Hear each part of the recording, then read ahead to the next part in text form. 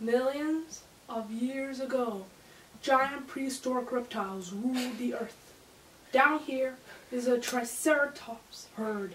A baby Triceratops is following his mother. Triceratops is a large ceratopsian that lived in North America. Triceratops was the size of an elephant, with a triaculate stance of a rhino.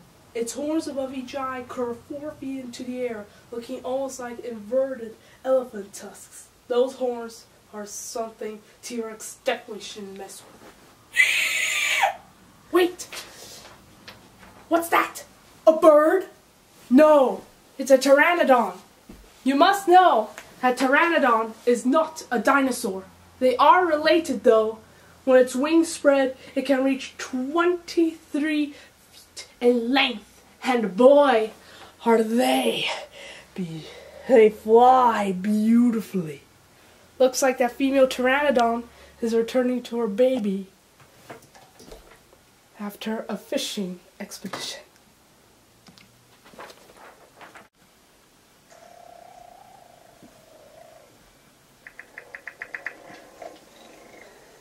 Here at Scream.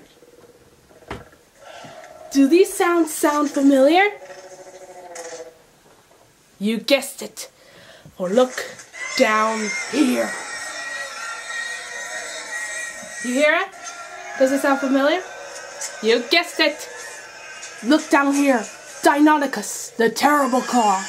Did you know that the skeleton of Deinonychus were first to show the now infamous sickle-shaped 8-inch retractable foot claw? The killer claw is used for ripping open the guts of its prey.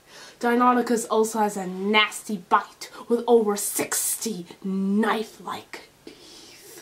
So you better watch out for that claw, herbivores! Stop. Now, ladies and gentlemen, comes the end of our show. But there's one last dino I'd like you to see. You've seen her in the movies. You've known her in your imagination. She appeared in Jurassic Park. She was found and named Sue. And here she is, ladies and gentlemen, the queen of the Cretaceous. Tyrannosaurus Rex!